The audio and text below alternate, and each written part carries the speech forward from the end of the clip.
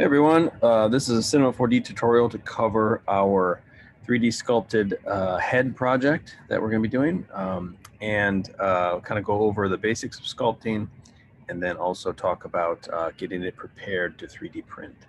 So when we start this project, what I'd like everyone to do is to begin by um, going to preferences and changing your units uh, to millimeters when we 3D print, we're going to be working in millimeters, so it's best to set up your project accordingly. Um, and then what we're going to do is uh, work with the content browser to get a you know, generic sort of head and go through the sculpting tools and uh, lay that out. So to begin, go to the content browser. Uh, if you're on presets, you can navigate to 3D objects, probably volume two, go to sculpting, and I'm just going to grab in this generic head. So just double click that, it'll pop in. And before we go too much further, I'm going to scale this a little bit. Um, so in order to do that, we're just going to uh, pop over to, um, I'm just going to pop over to Google actually and do this conversion, so millimeters to inches. So let's say we want our bust to be about three inches tall, uh, maybe three and a half inches tall. So let's say 89 millimeters. All right. So let's go back to cinema. Let's just scale this thing accordingly, and then we can work from there. So right now it's about 300. So I'm just going to grab my scale tool. Actually, I'm going to hide my floating controls so I can see what I'm doing on Zoom first. There we go. All right, I'm just going to go to my scale tool and I'm just going to scale this down until the height, uh, which is Y, is about 89 or something close to it. 90. Why not? Okay, so there we are. This is going to be roughly about um, three and a half inches tall, which is good for us to work. All right, now, now that we're set with that, we can go into our sculpting menu. So in order to do that, head up to this top right menu, pop on layouts and go down to sculpt. Now, in order to sculpt this, we need to add uh, more polys. So if we look at this in display mode with lines, you can see that there are very few polys. So what we're going to do is hit this subdivide tool, hit it once, twice, go to about level three, I would suggest. All right, so see we're at level three, it's about 15 megs. You can see there's a real fine mesh here, uh, and that's what we're looking for. Uh, so then um, I would suggest just turning this back to shading and we can start sculpting. So uh, what I like to do when I begin is actually just start to use the grab tool.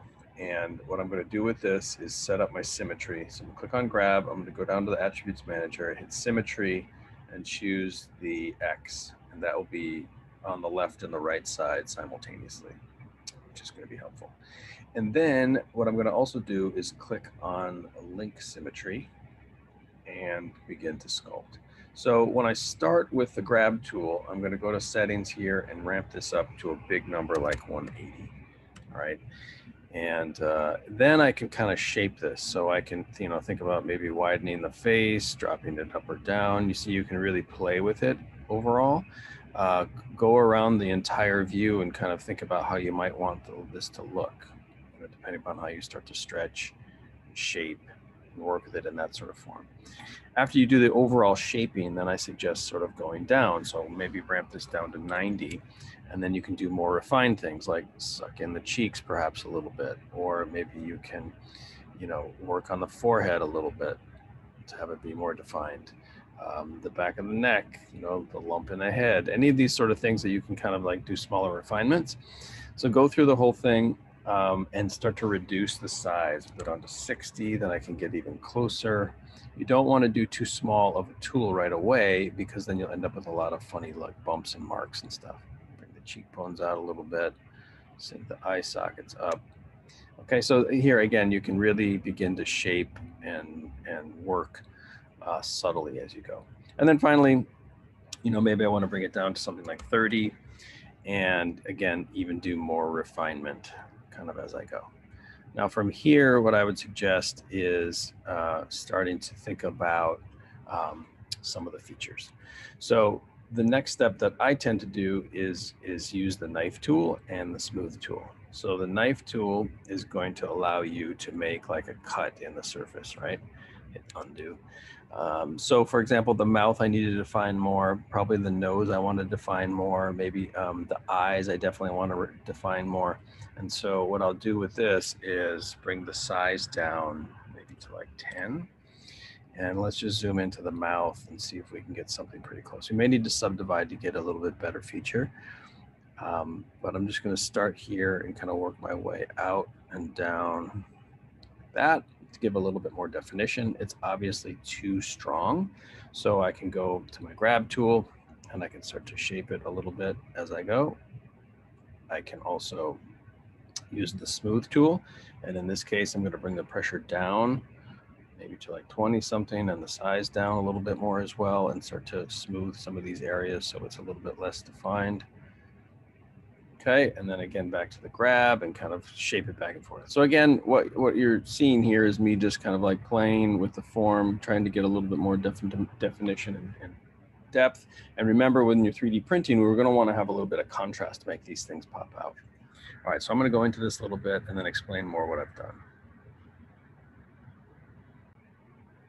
Okay, folks, I've gone a little further on this. You can see that I've used the knife tool to add some lines in the face, make this pouty sort of shape in the mouth, define the eyes a little bit. I've also used this inflate tool uh, and I've clicked invert and made it a very small. And then I've gone in here to make this an indentation uh, because in the 3D print, you know, you're not going to see you have to define every bit of the form. So that'll be important. I also use the knife tool on the ear and also I use the pull tool and inverted that as well so that I could push in. You see that you can invert tool like pull and it will push in instead of pull out.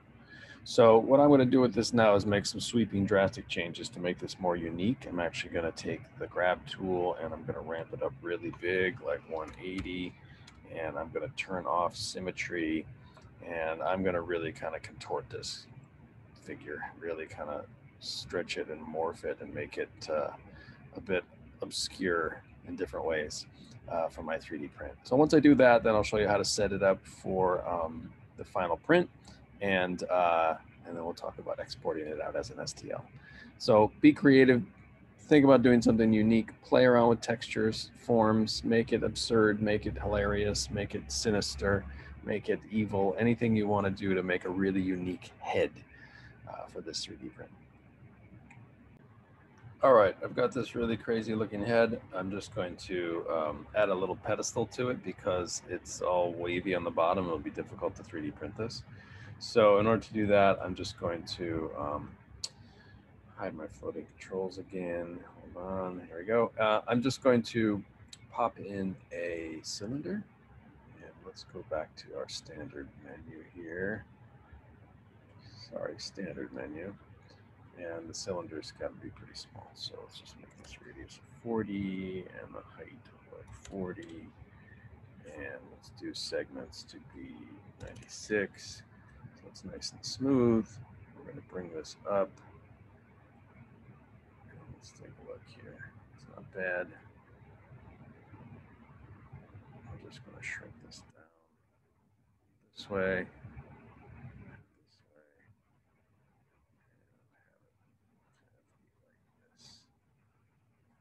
Seems all right.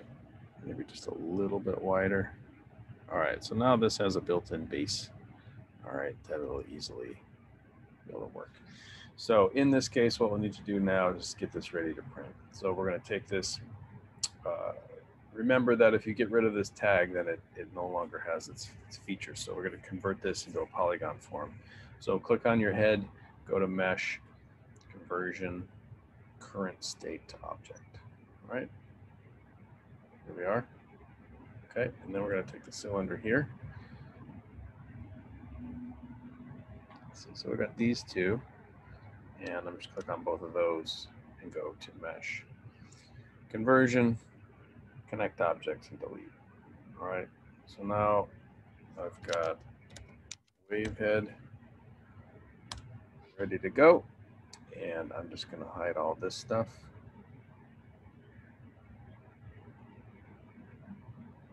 And go to File, Export, STL.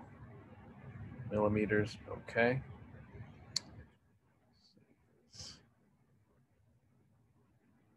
Appropriate location.